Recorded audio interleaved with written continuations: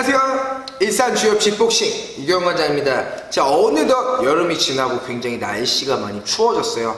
우리가 운동을 하는 이유를 먼저 설명을 하면 어, 건강해지려고 하는 거잖아요. 우리 몸은 땀을 흘렸을 때 체온의 변화가 있을 때 가장 면역력이 떨어지기 때문에 항상 옷 따뜻하게 입고 다니시기를 권합니다.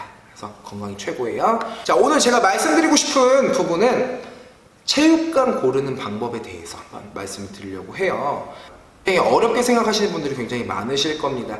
자, 제가 중요하게 생각하는 부분들에 대해서 한번 말씀을 드릴게요. 자, 첫 번째 제가 중요하게 생각하는 건 거리예요. 왜 거리가 중요하냐면 아무리 유명한 지도자분들, 유능한 지도자분들이 계셔도요.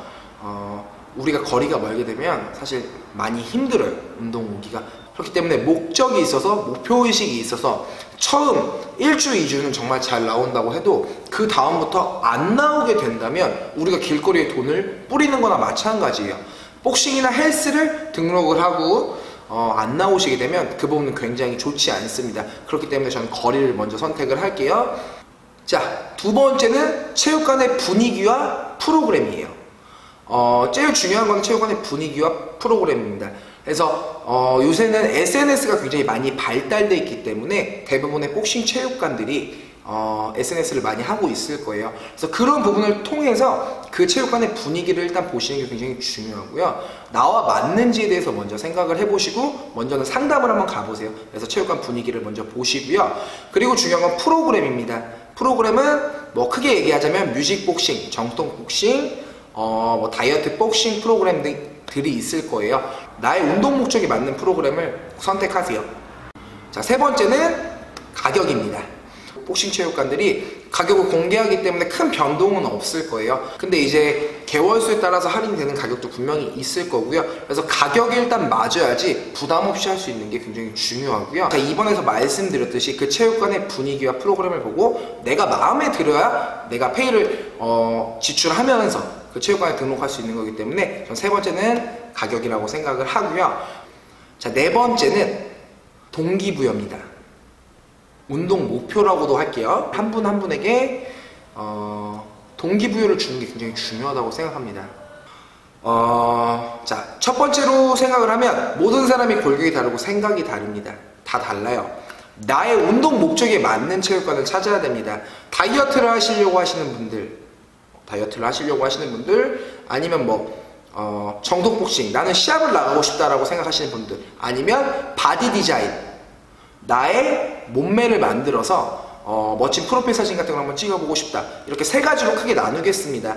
자 다이어트를 목적으로 하시는 분들은 어, 그 체육관에 이제 비포 애프터나 아니면 바디 프로필을 찍으신 분들이 있으신지 그런 부분에 대해서 확인을 한번 해보시면 좋으실 것 같고요. 그리고 사실 다이어트라는 부분이 내가 열심히 하지 않으면 절대 나오지 않습니다. 그래서 제가 말씀드리고 싶은 포인트는 다이어트를 하기 위한 자기 마음가짐이 중요해요. 하루 이틀로 되는 게 아니고요. 굉장히 꾸준한 시간이 필요합니다.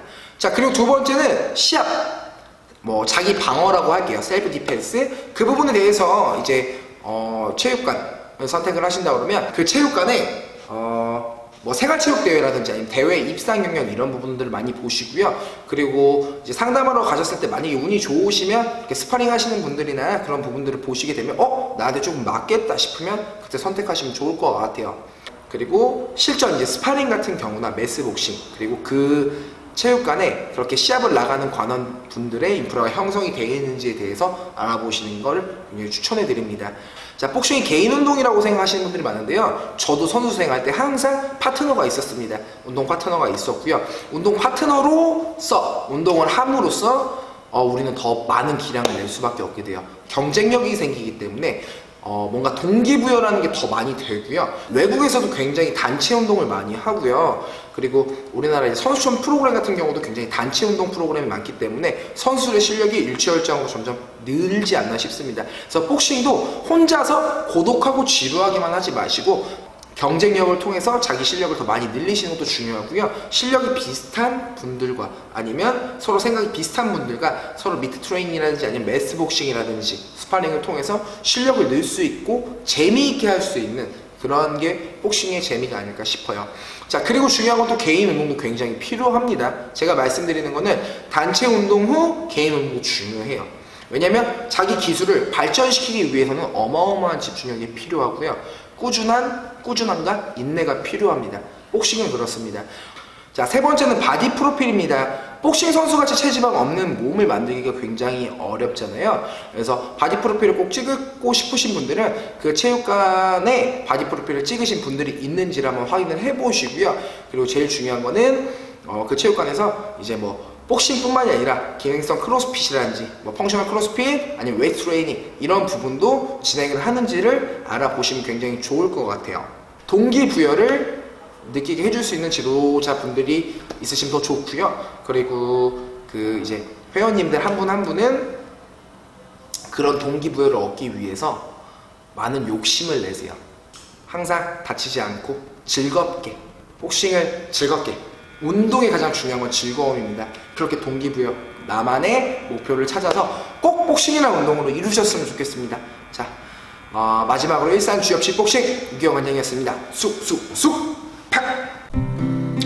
내 몸의 모든 기능을 살릴 수 있는 그런 운동을 원투 훅을 난 꼭 칠 거야 아니면 주먹을 잘 쳐주면 피해볼 거야 뭐 시합을 준비하다 보면 저도 굉장히 어려웠던 것 같아요 가장 어려운 게 아니면 쉬운 게 다이어트일 수 있더라고요 제가 요즘 많이